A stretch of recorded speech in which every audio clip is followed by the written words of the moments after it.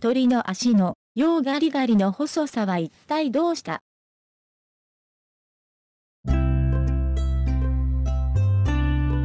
幸せな結婚生活を送っていたはずの大聖綾に何があったのか？ある異変が指摘されている。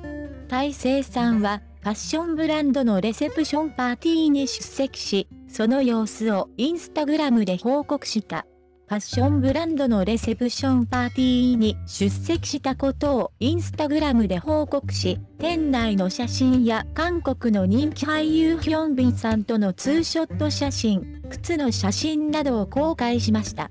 実際に靴を履いているところを見ると、スカートのスリットから素足がちらりと見えるのですが、どうも肌の色が、顔は美しい白なのに、足はなぜか焦げ茶色。ところどころに肌の凹凸がある。さらに、痩せすぎという指摘もある。足首が非常に細い。ふくらはぎから膝の上まで肉がなく、痩せ細っている。まるで鳥の足のようだ。